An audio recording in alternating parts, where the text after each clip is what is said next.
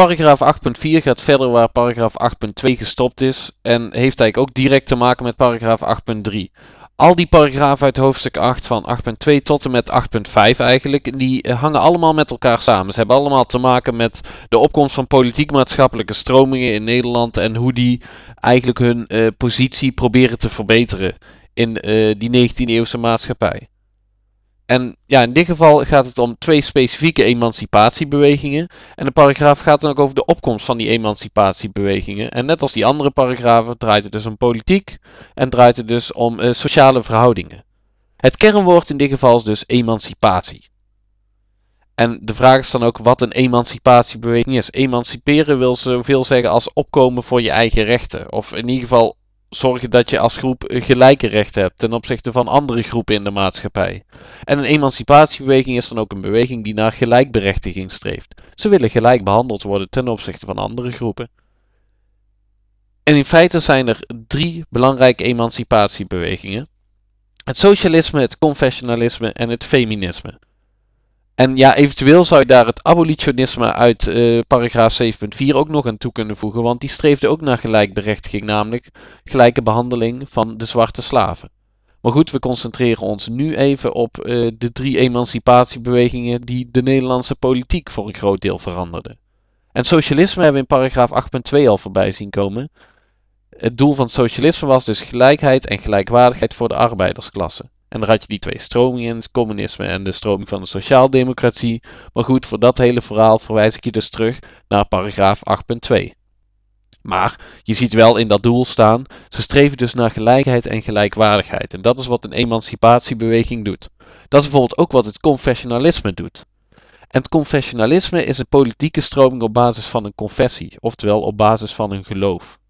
En het doel van uh, de confessionele was om een samenleving tot stand te brengen op basis van christelijke normen en waarden. Volgens confessionele moest de Bijbel eigenlijk het uitgangspunt van de wet vormen. We gaan zo iets dieper in op die confessionele. Uh, en daarnaast heb je dan dus ook nog het feminisme, dat in uh, paragraaf 8.3 ook al even om de hoek komt kijken. Het feminisme heeft tot doel om een gelijkwaardige positie van de vrouw in de maatschappij voor elkaar te krijgen. Ze komen dus op voor gelijke rechten en gelijke behandeling van de vrouwen ten opzichte van de mannen. Oké, we gaan even die stroming het confessionalisme en het feminisme verder uitdiepen. Nogmaals, voor het socialisme verwijs ik je terug naar het aparte filmpje dat ik daar bij paragraaf 8.2 over gemaakt heb. Eerst het confessionalisme. Uh, dan moet je in Nederland even heel sterk rekening mee houden dat er eigenlijk twee grote confessies zijn, namelijk de katholieken en de protestanten. Dat zijn de twee dominante christelijke stromingen in Nederland. Nou ja, wat willen die confessionelen? We zagen het net al. Het doel was dus een samenleving op basis van christelijke normen en waarden. En dat doel dat hadden zij niet zomaar gekregen. Dat kwam voort uit een bepaalde onvrede over uh, de manier waarop de maatschappij eigenlijk steeds meer ingericht leek te worden in de 19e eeuw. De Franse Revolutie en de Industriële Revolutie hadden de West-Europese samenleving op zijn kop gezet, maar volgens de confessionelen niet altijd op een goede manier. Want zij hadden nogal een hekel aan een aantal dingen die zij zagen veranderen in de 19e-eeuwse maatschappij. Zo zagen zij dat uh, het christendom steeds meer achteruit leek te gaan. Uh, het christendom leek steeds minder belangrijk te worden. In die nieuw opgekomen industriesteden, daar uh, leken die industriearbeiders ja, vaak toch minder belang te hechten aan het geloof dan voorheen. En ook in de politiek zagen zij bijvoorbeeld heel sterk dat uh, die liberalen het geloof eigenlijk helemaal uh, niets vonden en zoveel mogelijk buiten de politiek wilden houden. De uh, confessionelen hadden het idee dat de liberale politici ook neerkeken op het geloof. Dat ze dat maar een beetje achterhaald en dom vonden. En niet vonden passen bij de idealen van de verlichting. Daarnaast zagen de confessionelen, en vooral de katholieken waren er heel sterk in, uh, die zagen een achteruitgang in uh, de manier waarop men met elkaar omging. In die zin dat er uh, hele scherpe klassentegenstellingen kwamen. De arbeiders die zich afzetten tegen de gegoede burgerij en andersom bijvoorbeeld. De confessionelen wilden juist meer harmonie in de samenleving brengen. Dus die scherpe klassentegenstellingen die moesten worden tegengegaan. Want uiteindelijk zeiden de confessionelen, zijn we natuurlijk allemaal christen. En een derde punt waar de confessionelen, uh, wat, wat zij niets vonden, was de financiële ongelijkheid die er bestond tussen openbare en bijzondere scholen. Dat was echt een doorn in het oog van de confessionelen, maar dat verdient wel enige toelichting. We hebben in de, de vorige paragraaf gezien dat uh, Torbeck een nieuwe grondwet schrijft en erin wordt onder andere vrijheid van onderwijs vastgelegd.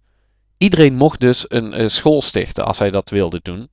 En dat konden zij dan doen op basis van hun eigen gezin. De katholieken werd dus toegestaan om bijvoorbeeld een katholieke school op te richten, net zoals protestanten een protestantse school op mochten richten.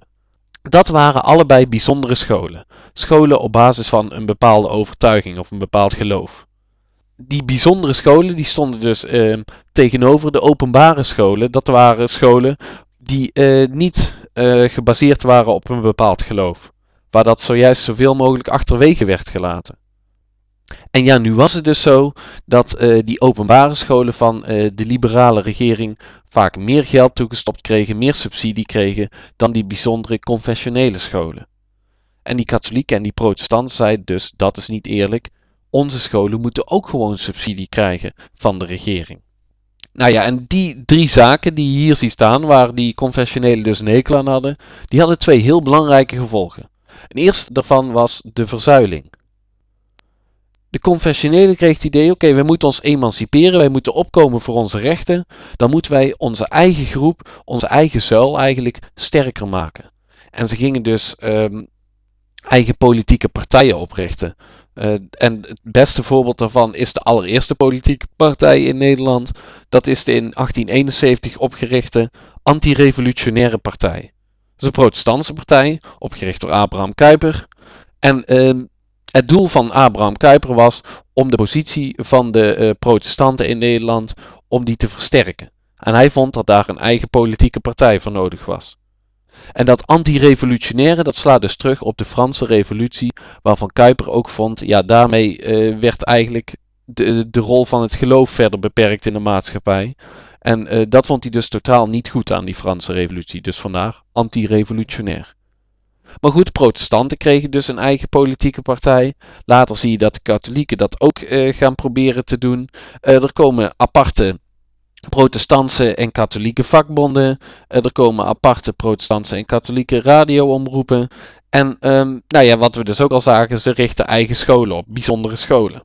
En dat ging zelfs nog verder. Er werden aparte universiteiten opgericht voor protestanten en katholieken iedere uh, maatschappelijke groep ging zich dus heel sterk terugtrekken in de eigen groep eigenlijk, in de eigen zuil. Als protestant, daar stemde jij als je mocht stemmen op die anti-revolutionaire partij of later op een andere politieke partij. Uh, je luisterde naar de uitzendingen van uh, de protestantse omroep en je ging dus naar een protestantse school doen. Voor katholieken gold hetzelfde, alleen die gingen dus dan naar de katholieke tegenhangers. Socialisten gingen zich daarna ook steeds meer verzuilen om op te komen voor hun eigen rechten. En dan zie je dat de laatste groep, de liberalen, ja dan automatisch overblijven en dan ook een soort liberale cel gaan vormen. Maar de Nederlandse samenleving raakte dus verzuild en dat kwam doordat die confessionelen zich steeds sterker gingen organiseren. Daar begon dat mee. Een tweede belangrijk punt in de Nederlandse politiek is de zogenaamde schoolstrijd die plaats gaat vinden want wat willen die confessionelen bereiken? Zij willen dus een einde aan die financiële ongelijkheid. Zij willen financiële gelijkstelling tussen de openbare en de bijzondere scholen. En katholieken en protestanten die hebben normaal gesproken ja toch vaak een hekel aan elkaar, maar hierin vonden zij elkaar en ze besloten samen op te trekken. En in 1917 bij die pacificatie, die we in het vorige filmpje ook al zagen, haalden zij hun gelijk. Er kwam financiële gelijkstelling van openbare en bijzondere scholen. En daarmee zou je kunnen zeggen dat de emancipatie van de confessionelen in de Nederlandse samenleving toch wel bereikt was. Want mede door de uitbreiding van het kiesrecht hadden de confessionelen steeds meer invloed gekregen in uh, de Nederlandse politiek en dus ook in de Nederlandse maatschappij. Nou, dan nog even door naar het feminisme. Wat wilde die? Dat hebben we net ook al gezien. Die wilde dus streven naar een gelijkwaardige positie van de vrouw in de maatschappij. Ook de feministen zagen zaken waar zij het niet mee eens waren, zoals bijvoorbeeld het gebrek aan kiesrecht voor vrouwen. Waarom mochten mannen wel stemmen en vrouwen niet? Dat vonden zij niet eerlijk en het moest veranderen. Daarnaast keerden zij zich tegen de dubbele seksuele moraal. Op seksueel gebied was voor mannen veel meer toegestaan dan voor vrouwen. Uh, als mannen er meerdere vrouwen op nahielden, dan werden zij daar minder snel op aangekeken dan als vrouwen er uh, een relatie hadden met meerdere mannen bijvoorbeeld. Zij vonden dat dat niet kon.